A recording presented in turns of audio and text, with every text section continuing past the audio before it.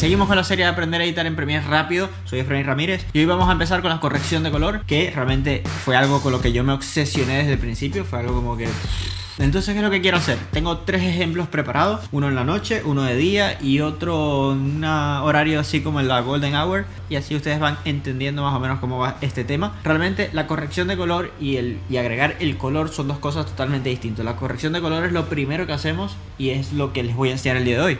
Mira, y realmente vamos a comenzar con este video de aquí, que es un video que grabé en Nueva York cuando estaba por allá.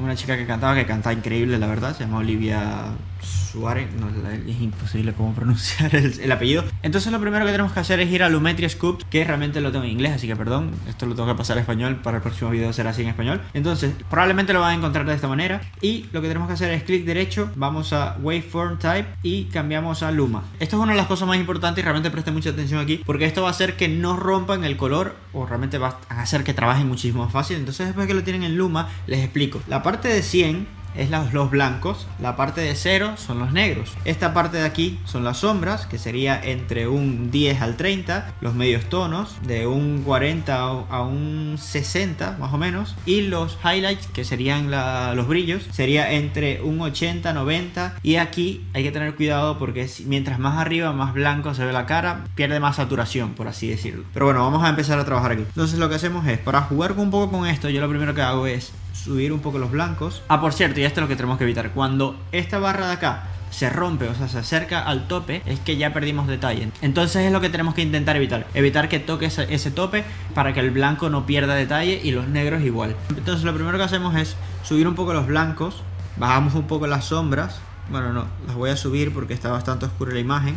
El brillo lo vamos a subir, no, a bajar. Y le vamos a dar algo de contraste a la imagen los negros que no toquen el borde como les había comentado y quizás un poco de exposición.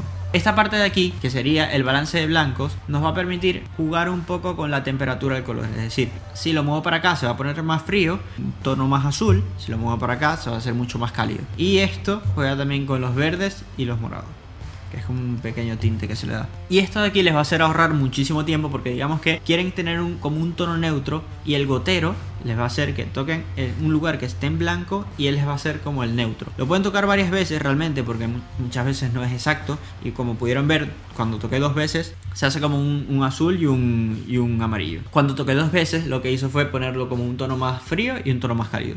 A mí, por lo menos esta imagen, me gusta más en el tono más cálido y quizás con un poco de, morado para, para aumentar ese, ese atardecer ya casi volviéndose noche. Y bueno, básicamente tenemos esto aquí para ver, para ver el antes y el después. Apretamos en este botón de aquí y este sería el antes y este sería el después.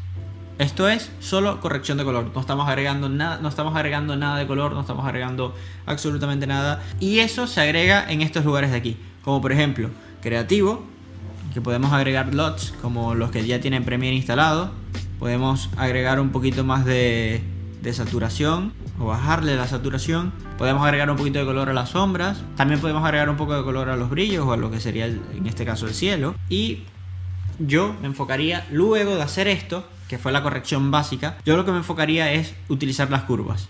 Las curvas es un poquito tedioso, pero realmente es una herramienta brutal y como pueden ver aquí, podemos bajarle un poco más el tono acá, subirle, hacer una curva tipo S como si estuvieran editando una foto, realmente no tiene mayor ciencia y esto le va a dar como un poquito más de un toque.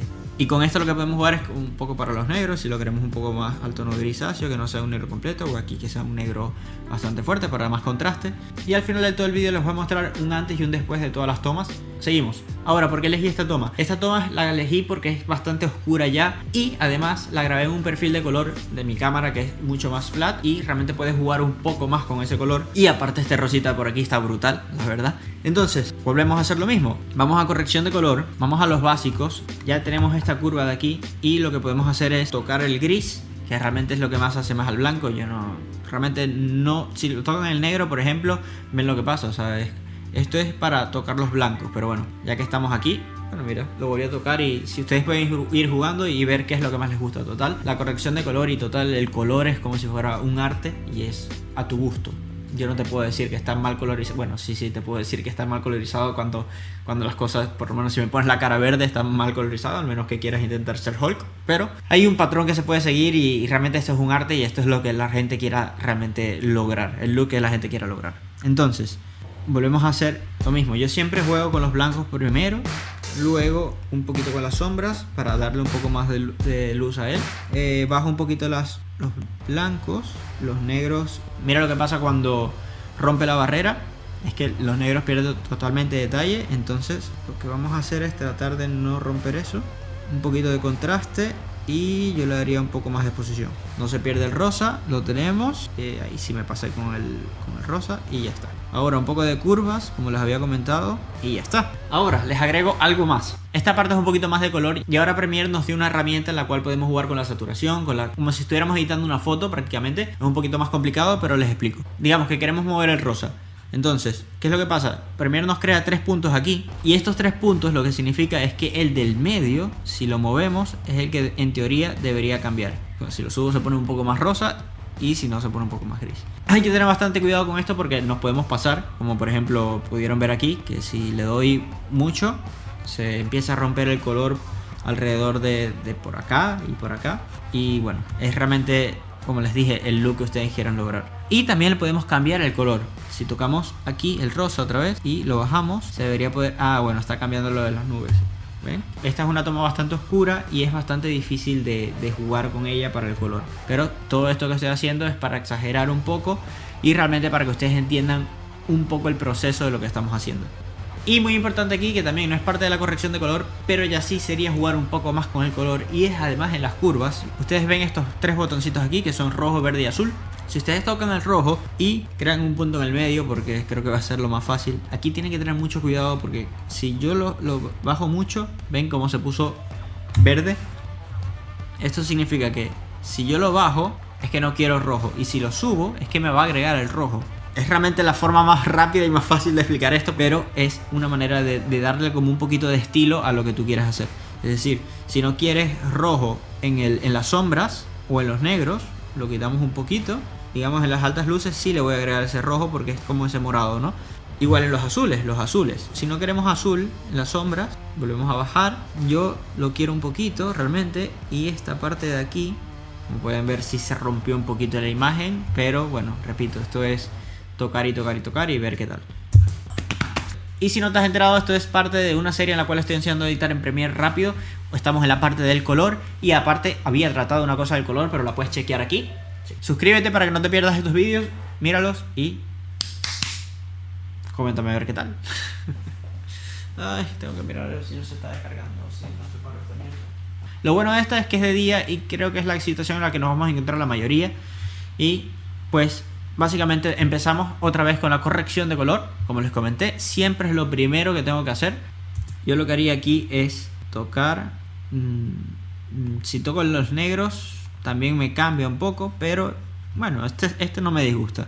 Lo quiero un poco más cálido y quizás un poco más verde, para que no sea tan morado aquí. Y aquí volvemos a jugar con los negros, después con los blancos, subimos, siempre que no toquen los bordes bajamos las sombras para dar un poquito más de contraste, subimos los brillos y aquí hay que tener cuidado porque si subimos los brillos, como pueden ver aquí, ya me estoy perdiendo detalle y está quedando demasiado brilloso. Entonces lo que hago es que los voy a bajar un poco realmente, no tanto, y dar un poco de contraste y ya está. De esta manera se ve muchísimo mejor. Creo que me pasé un poco de contraste, la verdad, le bajo un poco de contraste. Ahora vamos a las curvas, volvemos a hacer la típica curva de S. Y en esta lo que voy a hacer es subir los negros. De esta manera es como que se va a hacer como un pequeño grisáceo. Y vamos a jugar un poco con la curva, dependiendo de donde se vea mejor. Y esta parte de la curva serían los blancos y aquí también lo voy a bajar un poco. Entonces de esta manera vamos a hacer como a tratar de hacer un look como más vintage. Entonces vamos a ver qué más podemos hacer rapidillo por aquí. Vamos a jugar otra vez con los colores. Sería rojo, ¿Ves? Si quito el rojo le, da ese tono así como, como de otoño y si no va a ser un poco más verdoso, que es realmente el look que estoy intentando buscar. Un poco más verdoso por aquí, esto en el medio y ya está. Este sería el look que conseguimos con las curvas. Y si queremos quitar las curvas, como pueden ver el antes y el después. Con las curvas tampoco es que logramos mucho, pero sí conseguimos darle un look diferente al, al video que estamos haciendo. Y ahora vamos a la parte más importante, a mostrarles el antes y el después, para que vean que lo que hicimos realmente dio resultado. Solamente con la corrección de color vamos a ver el cambio que hace y la manera en la que se ve un poco más profesional los videos que estamos realizando. En este caso ha cambiado muchísimo la imagen, eh, se ve un poco más cálida, está un poco más al, lado de, del atardecer. Y realmente era un look que yo quería conseguir en este video, fue un video de música.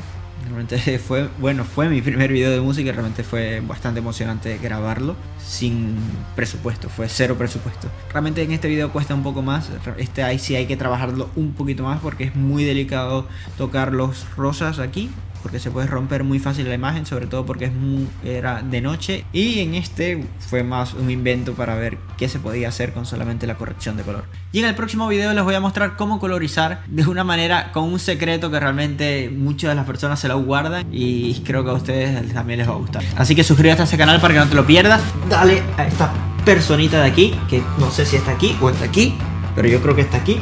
Porque la voy a poner aquí y sigue, dale, dale, dale al botón ese. Nos vemos al otro. ¡Chao! ¡Oh! Por fin, se acabó. Estoy cansado, quiero dormir. Nos vemos al otro.